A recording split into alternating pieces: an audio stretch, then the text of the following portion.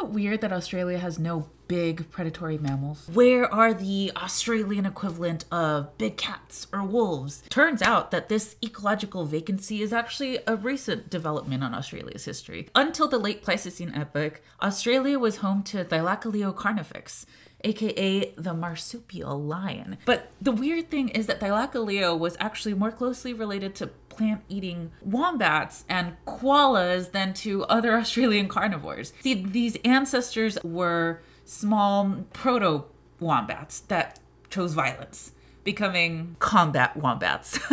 they developed bolt cutter molars for shearing through flesh, ew. And while Thylacoleo is called the marsupial lion, skeletal reconstruction suggests that it was built more like a giant Tasmanian devil that ambushed its prey. But habitat loss driven by increasing dryness may be combined with pressure from humans caused its extinction around 40,000 years ago.